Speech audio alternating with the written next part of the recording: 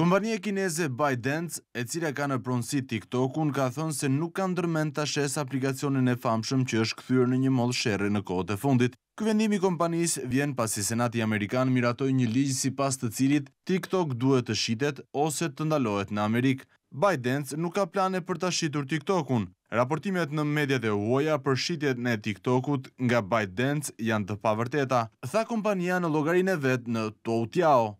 Në fillim të kësaj jave, TikTok-u tha se do të ankohet në gjykatë kundër ligjit që e cilëson si jokushtetues. Presidenti amerikan Joe Biden e nënshkroi të mërkurën ligjin i cili do ndalojë TikTok-un dhe në Shtetet e Bashkuara nëse pronari i saj, ByteDance, nuk e shet atë brenda një viti. Ligjvënësit nga të dyja partitë në Shtetet e Bashkuara si dhe zyrtarët ligjorë edhe inteligjencës kanë shprehur shqetësime se autoritetet kineze mund ta detyrojnë ByteDance t'ia dorëzojë të dhënat e më shumë se njëqind e shtatëdhjetë milionë amerikanëve që përdorin TikTok-un. Shqetësimet e tyre burojnë nga një sërë ligjesh kineze të sigurisë kombëtare, të cilat i detyrojnë organizatat e huaja ta ndihmojnë vendin në grumbullimin e të dhënave.